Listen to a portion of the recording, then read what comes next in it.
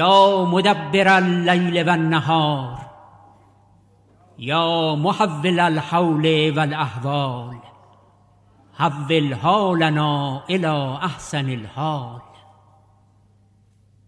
يا مغلب القلوب والأبصار يا مدبر الليل والنهار يا محول الحول والأحوال حول حالنا إلى أحسن الحال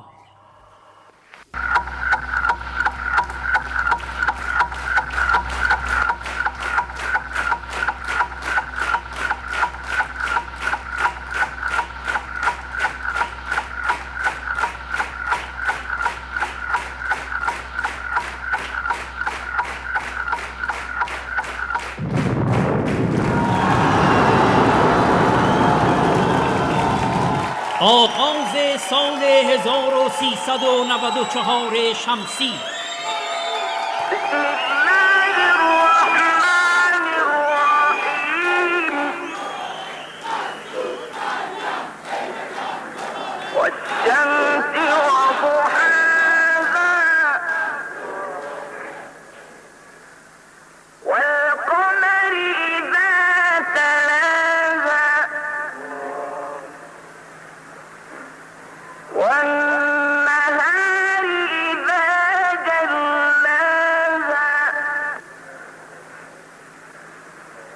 Wow!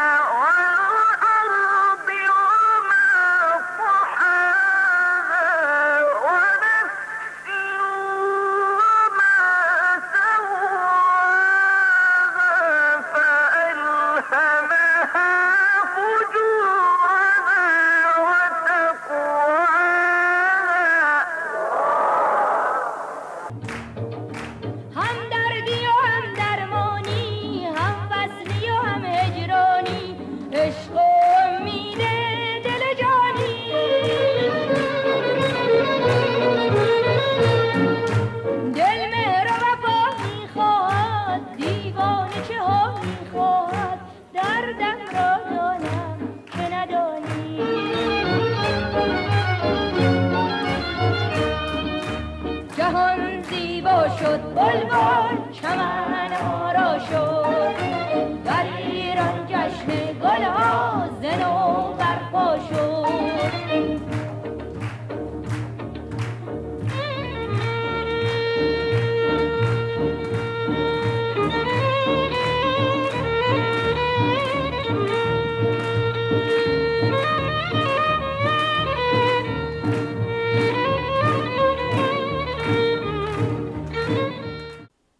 باز هم زمستان رفت و بهار رسید.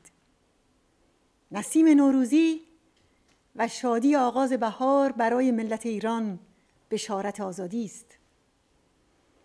کهنگی و تاریکی نظام ولایت فقیه نخواهد پایید و نهایتا مغلوب بهارانی خواهد شد که از اراده ملت ایران می جوشد سی و هفت ساله است که آخوندها با شکنجه و کشدار نوروز حقیقی مردم ما را به گروگان گرفتند.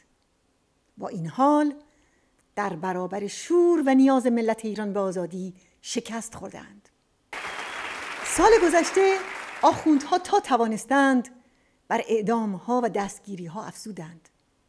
هزاران نفر را زیر حکم اعدام نگه داشتند و از هیچ شقاوتی برای بریدن گلوی آزادی فروگذار نکردند. این اما روسیاهی استبداد دینی است و نشانه ضعف و ترس و فلاکت آن. پس خوشا مردم ایران که تسلیم نشدند و در سال 93 هم با 5700 اعتصاب و تحسن و تظاهرات باز هم بر نفی تمامیت این رژیم تأکید کردند. اما سال 94 را در حالی آغاز می کنیم که رژیم ولایت فقیه در مهمترین گلوگاه های حیاتیش خود را در برابر تهدیدهای مرگبار یافته است. برنامه اتمیک قرار بود وسیله بقای نظام باشد تناب دارش شده است.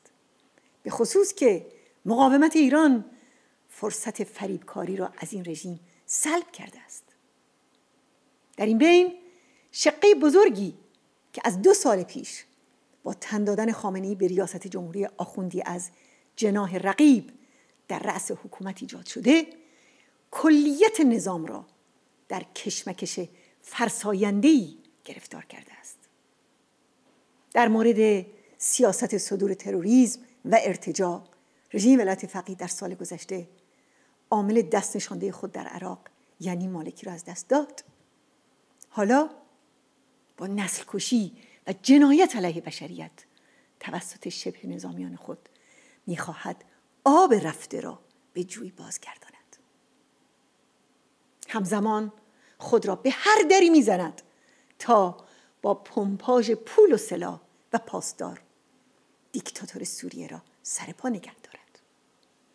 در مورد بحران سوریه و عراق حرف مردم و مقاومت ایران به آخوندها این است که هر چقدر هم که پاسدار و بسیجی و پول و سلاح به آنجا سرازیر کنید اما از گرداب این جنگ ها بیرون نخواهید رفت.